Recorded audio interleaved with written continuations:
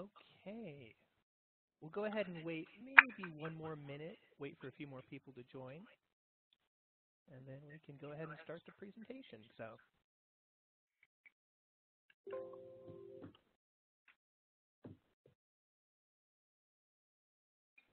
Now, can everybody hear okay? Is there any problem with any kind of audio issues or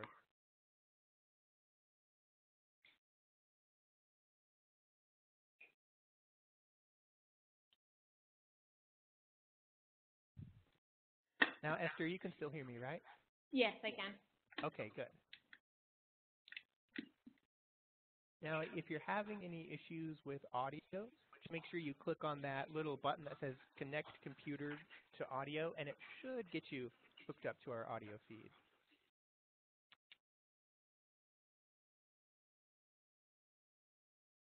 Okay, so in the interest of time, we'll go ahead and start. Um, thanks everybody for joining. I'm Michael Molina. I'm with the Oklahoma Transportation Library and the Southern Plains Transportation Center. And this is our inaugural webinar that we're doing. We're going to have a few more webinars in the future, so stay tuned for those. We'll be emailing those out later. But our presenter today is Dr. Esther Mullens from the South Central Climate Science Center. And the way we're going to have this set up, we're going to go through the presentation first and then have a question and answer session afterwards. So if you have like a microphone, you can, you know, say your question, or there should be a little chat box you can type your question into, and that'll be after the presentation. So um, I'll go ahead and turn it over to Dr. Mullens, and we can start the presentation. Okay, thank you. Thanks everyone for joining this lunchtime. This is actually my first webinar. Um, so in my mind, I had it as sort of me talking by myself to a computer screen, which I have done uh, on, in fairness, but uh, not for a whole hour. So, I really appreciate you joining me today. a bit about me, I am a postdoc um, researcher. Uh, my background is in atmospheric science and meteorology.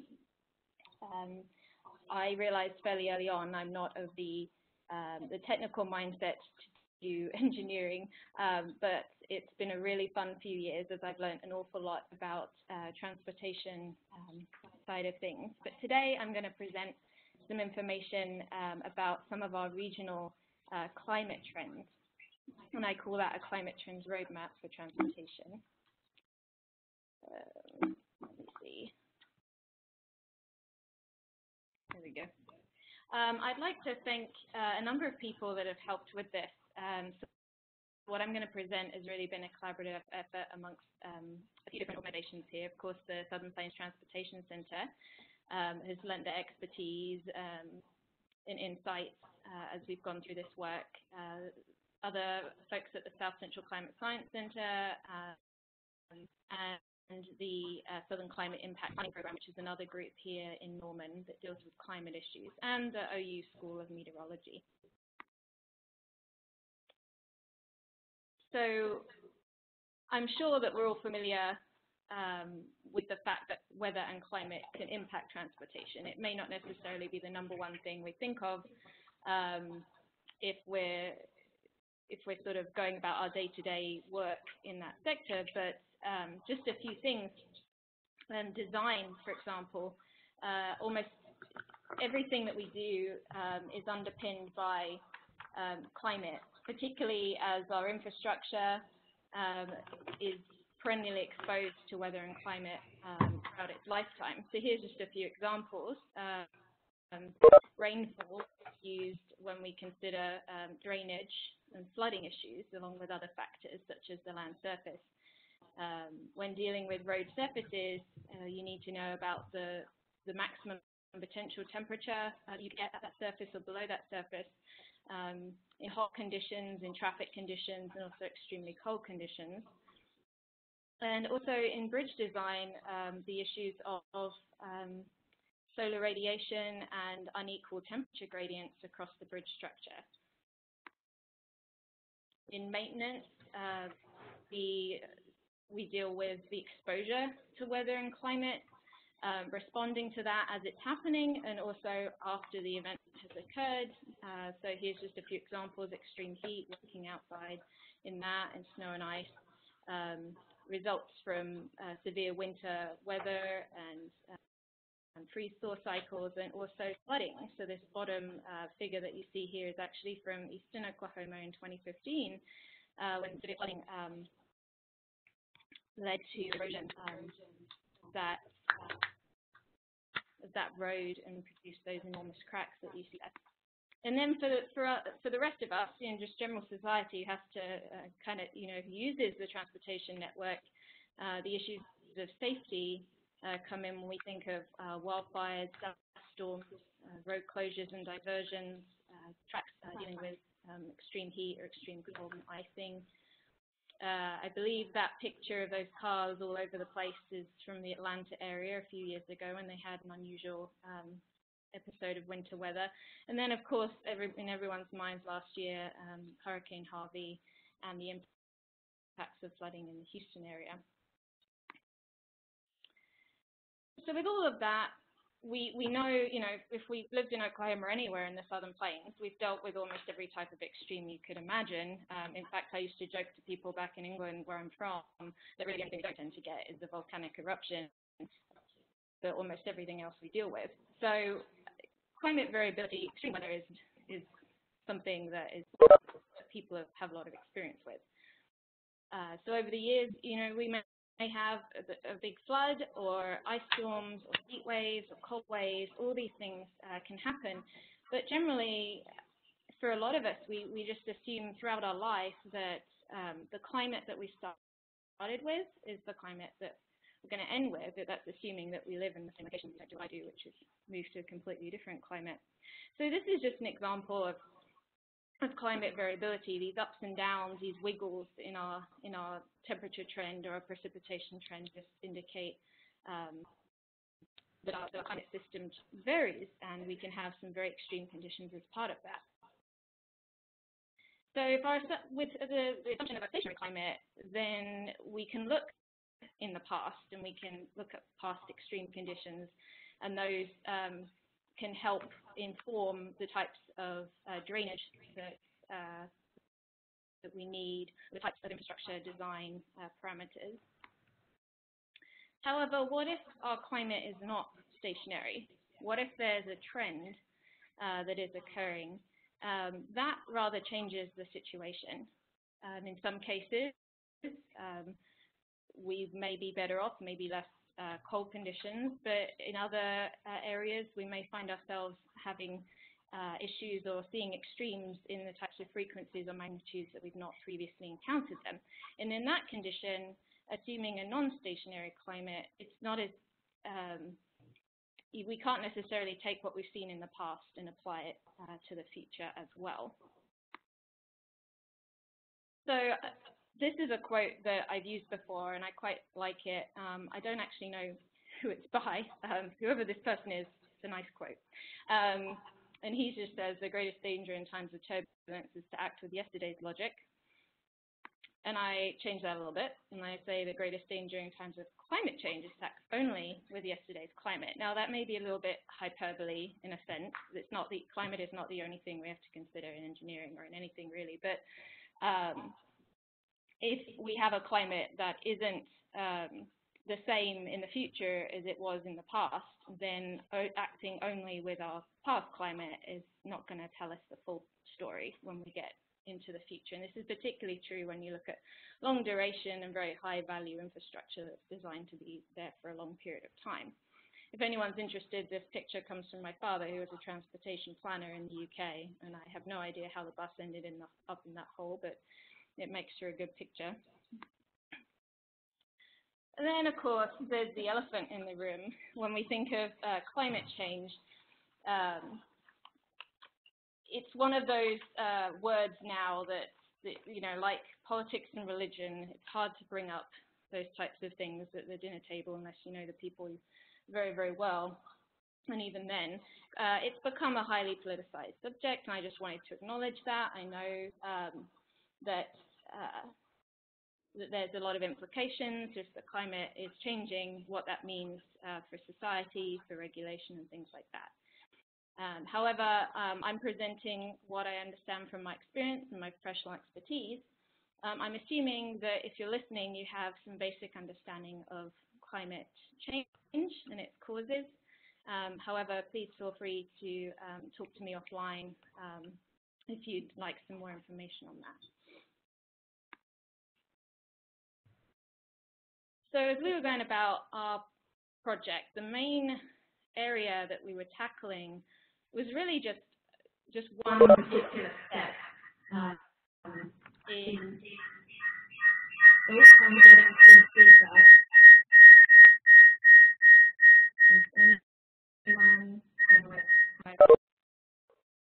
I think it's gone. Okay, yeah, that, that sounds better. Okay. All right. Um, so the Federal Highways Administration has been doing a, uh, a lot of work in recent years to help uh, transport, transportation agencies recognize uh, the impacts of climate variability and climate change and to build resilience. Our particular part of that was just this first step, know your vulnerabilities. Um, and we were tackling that from the climate angle. So that's really only part of the step. The other part of the step comes to how those climate um, trends impact specific assets. Um, but our mission was to provide uh, transportation relevant climate trends at the regional level for each state in the SPTC Region 6. So that's five states, and to make this information accessible. Um, and I will show you in a minute what that is, uh, what that looks like. And a no less important aim was to get a conversation started. So this is still an emerging topic. Um, there are obviously of standards and design parameters uh, that are specific to transportation agencies, and, and incorporating new information may not be all that easy. Um, it's just, you know, learning about this information, talking across disciplines. Um, so ultimately, how we as climate folk and engineering folk and um, in various subsectors can help each other um, with these types of problems. So the way that uh, that we tackle our know your vulnerabilities um, was obviously we did a, a research um, project a few years ago, and you know out of that you create a nice uh, document, a final report, and uh, you know you spend a lot of time creating it, um, and then it typically goes and sits somewhere. And in, you know I I like to write a lot, so then I realized you know I didn't even want to read what I'd written. Um, so we took that information and broke it down into the different uh, into different states. In each of these, um, we look at uh, various things that were considered to be important based on um, some information we gathered from transportation professionals in the region. I'm going to go through what this uh, what these uh, summaries will look like, look at, uh, using the Oklahoma State summary as an example. Um, I'm sorry if you can't see all of this information all that well. These are just screenshots of the pages from the document itself. Um, I'm going to really bring out the major points um, for each so that you don't need to worry about reading through everything that's on here.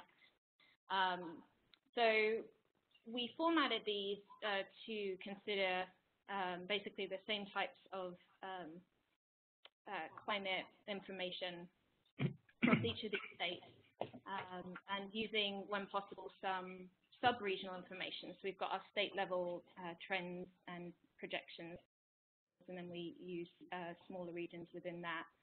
Um, variables that we consider include winter, um, weather such as um, freezing thawing, um, winter, weather, snow and ice, we also then turn to look at heat, at drought, um, and extreme precipitation as well. And we bring in case studies of uh, historical events in the region and for historical extremes.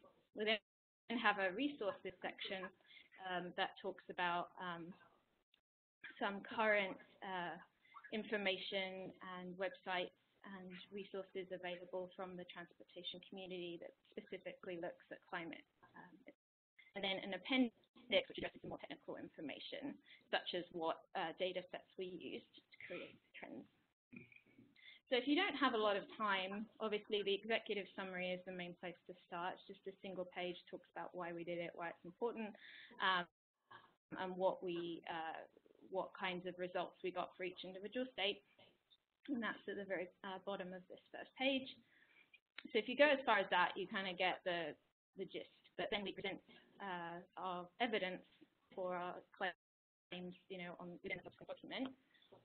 Um, for each summary, we consider a number of different uh, sectors in transportation, just in a, uh, a broad approach, which considers uh, the scope of the transportation network in each state, and then these icons that um, highlight different, you know, so roads or trains, cars, uh, bridges. We also consider things like drainage. Um, so the types of lifetimes associated with that, the capacity, um, and any weather-related stresses that then bring that around to, to show you why uh, these types of things are, have some sensitivity to weather or climate impact. So we use those icons in, in the different parts of the document indicate uh, what types of weather or climate trend they could potentially be impacted by. Uh, we consider the historical climate of the region and some of the recent trends. So just in general, uh, all of this information is, um, is laid out to be uh, um, accessible. It's not overly technical. Uh, included in a number of um, citations to other resources.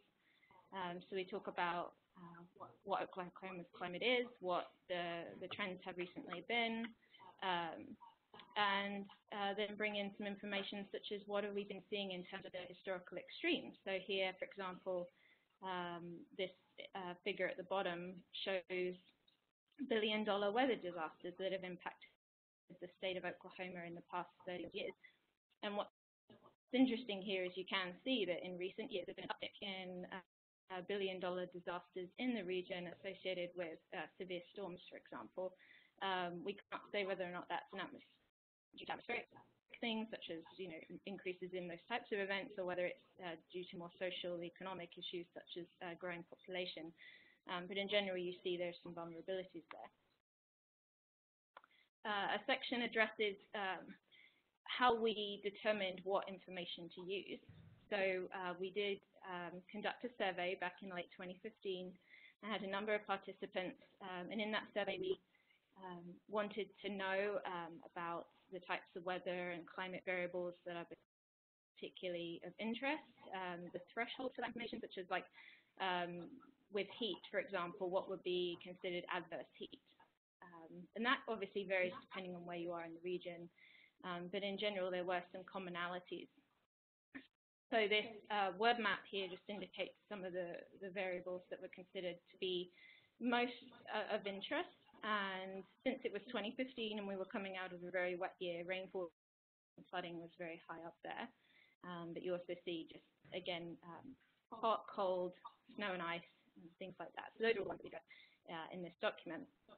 We look at some general thresholds, um, such as with heat, 100 degrees tended to be a cutoff um, between what be considered okay versus not so okay. Um, but again, it kind of depended. Down in Louisiana and Arkansas, 95 degrees. This is a little bit more common as a, as a threshold for very hot conditions.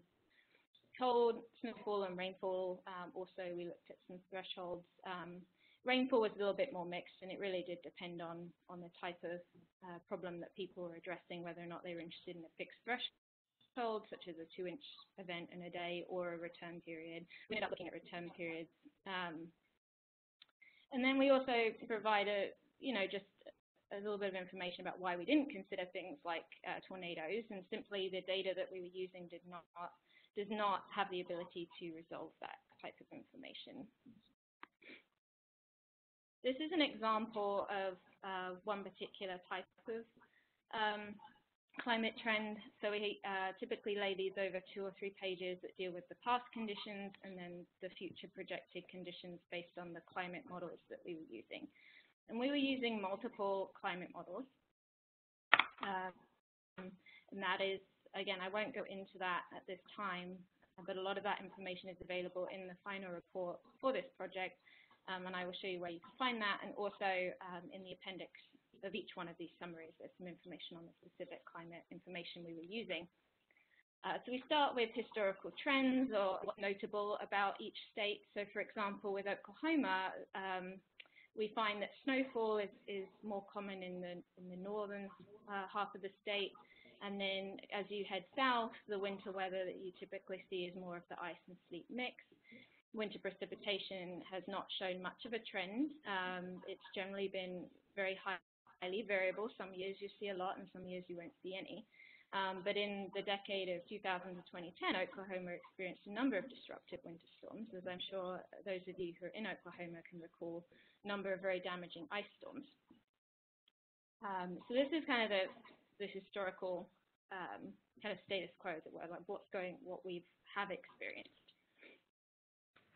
Then as we move ahead, so this is the information now that's coming from the climate models. And so these pages are laid out at the top just to um, show the salient points. So typically, um, whether something is increasing or decreasing in the future, uh, the types of percentage increases or decreases that we are seeing, um, then any caveats about data, any information about the, the, data that could be pertinent, and then how this could impact transportation um, just in a general sense. And then a confidence estimate, and so I'll talk about confidence a little later on. Um, this figure I'm just going to go through this. So I, as part of this document, we do um, have a page that talks about climate modeling, what that means um, just in general, and how climate models differ from weather models. And we also introduce this idea of emission scenarios, which are which describe um, kind of potential future pathways in greenhouse gas emissions um, in the coming decades and centuries. Um, so uh, we have some MR here and then H. There are two emission scenarios we looked at. Um, mid-range and high is what I designate them as. Mid-range uh, in general um, depicts a pathway where um, we emit greenhouse gases um, that, that, continue to increase um, throughout at least the mid 21st century and thereafter um, the various, you know, they don't really specify necessarily the reasons, um, but the, the expectation in that scenario would be that we'd level off and then gradually decline after that to the late 21st century. So that's called mid-range. High is if you took the kinds of um, emissions that we're currently producing and you just continue to grow that out through the 21st century, that would be a high emission scenario. Um, this, uh, we lay this spatial information out uh, is this four panel, and this is um, basically the average of all the models that we that we use. Um, there's two time case, um, a, a, kind of a mid-century time period, next 30 odd years, and then a later century. So for many of us um, with shorter timelines, um, the mid-century perhaps is going to be uh, of more interest. But then for certain types of long duration infrastructure, we may even want to see out beyond that. So um, you see here that this is a percentage change uh, in the frequency of winter weather as resolved by climate models um, relative to a 1971 to 2000 uh, mean.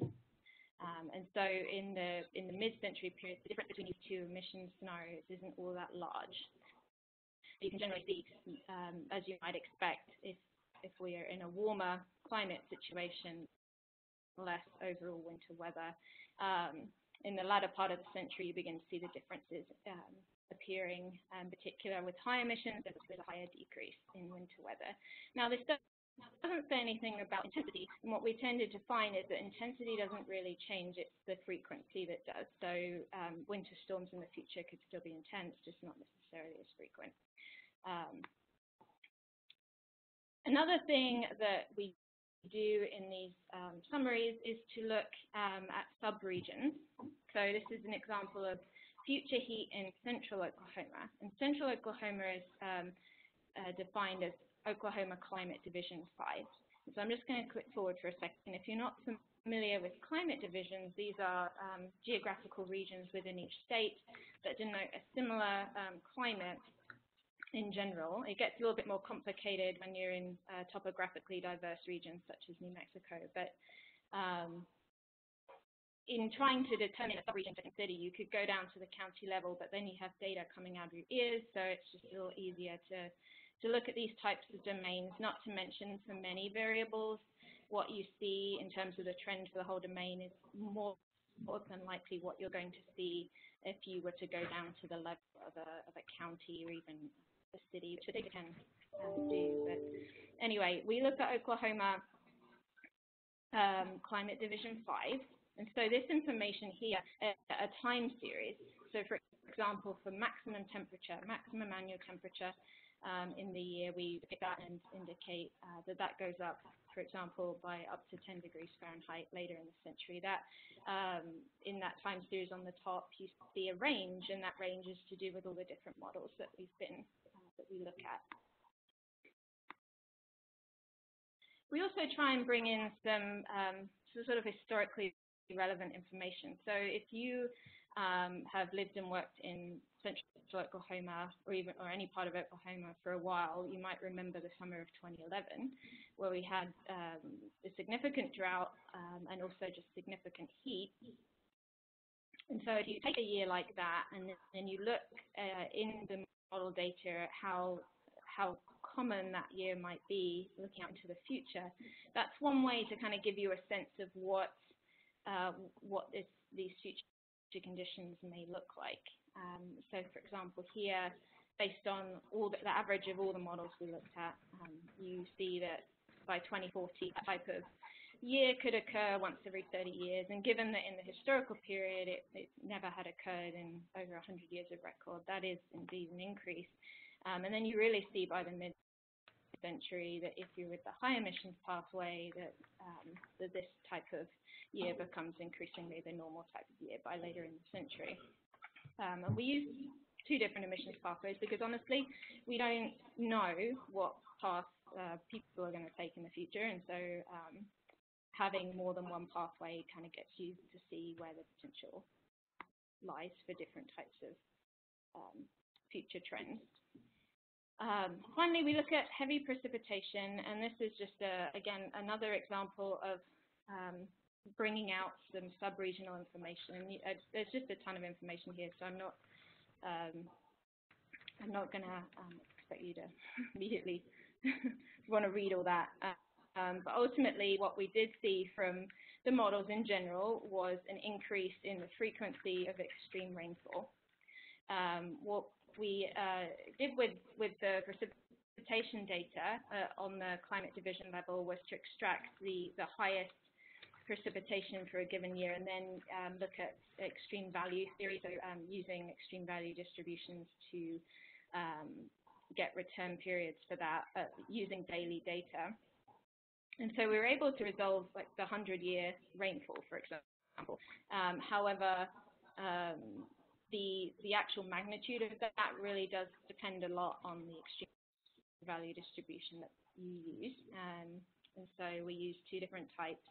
One that was a little bit more conservative, which is the Gumbel um, extreme value distribution, and another one, the generalized extreme value distribution.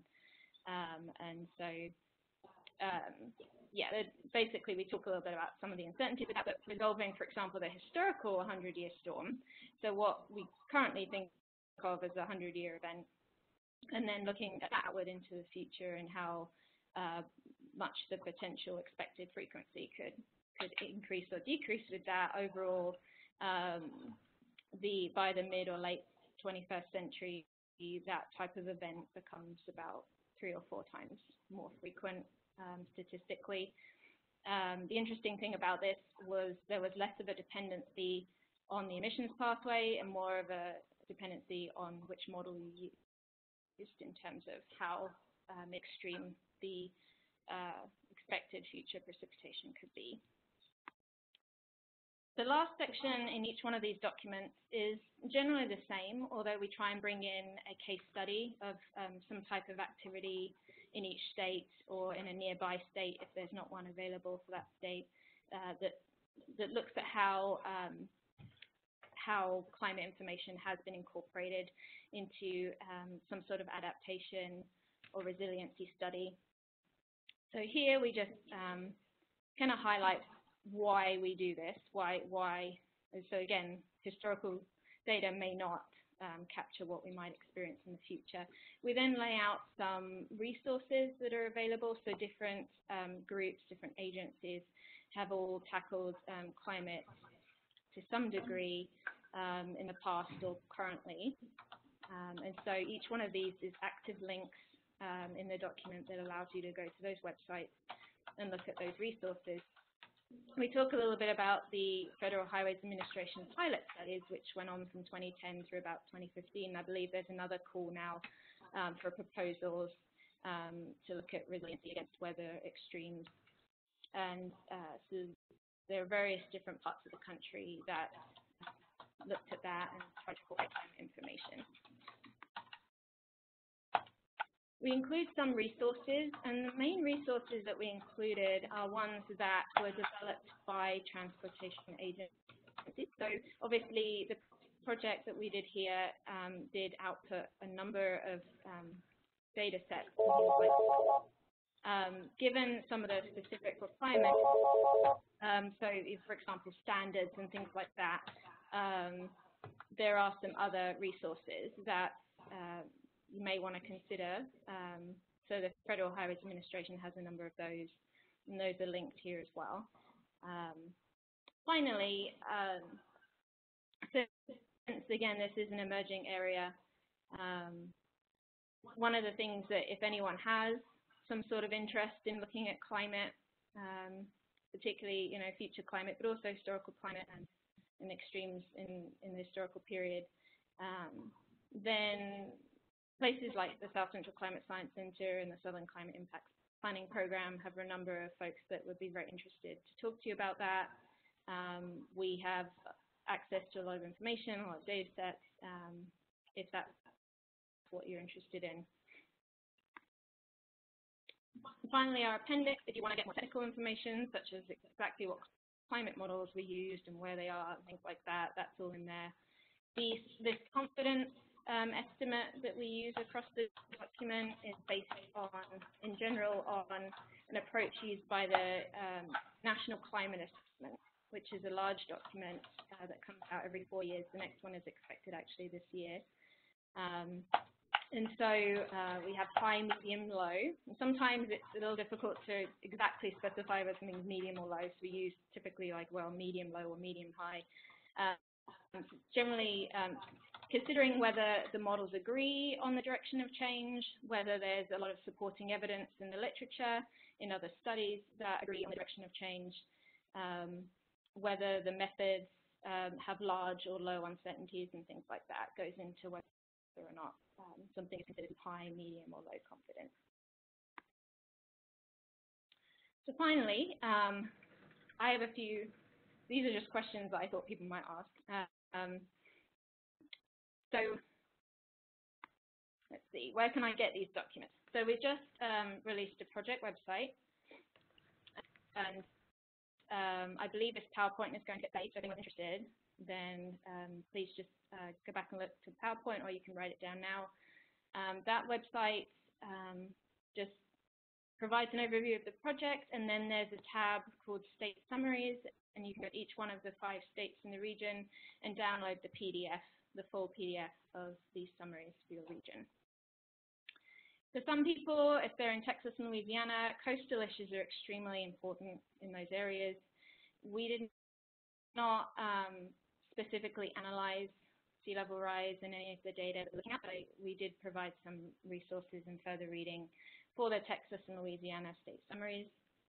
If you're interested in data sets or graphics using this work. So anything from these PDFs, any one of those graphics you can use. Um, there is a suggested citation. You can pretty much anything you can use um, for your own um, interest or in any projects or if you just want to kind of tell your friends, that kind of thing. So uh, we're populating a basic data portal with graphics and data sets. And when I say basic, I really do mean basic. I'm actually going to show you right now. Uh, we expect to have a lot of that data there um, in the next few months. So here is just simple file list. So data, figures, um, and then the final project uh, available up there as well um, in Word format. But uh, I will provide a full kind of user guide to that because I mean I'd love to be able to build a really nice portal, um, but it's unfortunately not going to happen. Uh, what the um, website looks like. And again, if you go to state summaries, you click down, and then you can download uh, the full report here if you're interested. So you drag the PowerPoint back. There we go. Okay, that is all for me. Thank you very much. If you want to, if you are interested in this line of work and you want to provide any feedback to those resources, I would be happy to hear it. Um, here is my contact information. I will be transitioning to another institution later this year, so there are two email addresses available there. The Gmail one would be uh, after August of the year. Thank you for your time. All right, great. Well, thank you so much, Esther. And uh, are there any questions for Dr. Mullens? If you're hooked up with a microphone, you can feel free to ask any questions, or you can also use the chat box in your uh, in the WebEx platform. Uh, was someone trying to say something? I could barely hear something.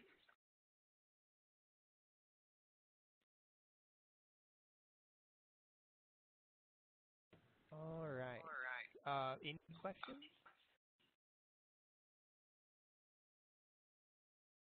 Okay, well, thank you so much, Dr. Mullens. I appreciate your time and appreciate everybody for participating. So we'll go ahead and send a link out to this presentation. We'll post it on our website, and we'll attach the PowerPoint too if anyone's interested in that.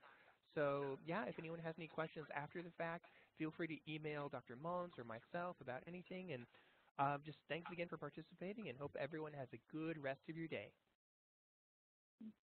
Thank you. Thank you.